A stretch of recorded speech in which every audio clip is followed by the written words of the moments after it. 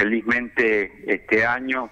si bien no tenemos las peregrinaciones organizadas desde las 5 de la mañana con la imagen de la Virgen saliendo desde Catedral, pero con la apertura y el cuidado que en eso eh, cada fin de semana redoblamos el pedido a todas las comunidades para el cumplimiento de los protocolos, ya que ya estamos promediando, esta es la cuarto domingo, el de los jóvenes, entonces esperamos de que puedan venir y acudir a todas y cada una de las actividades que están preparadas, tanto para el día de mañana, la vigilia de los jóvenes, como también el domingo, las misas presenciales para que los jóvenes puedan concurrir con su familia en las cuatro misas por la mañana y las dos misas por la tarde.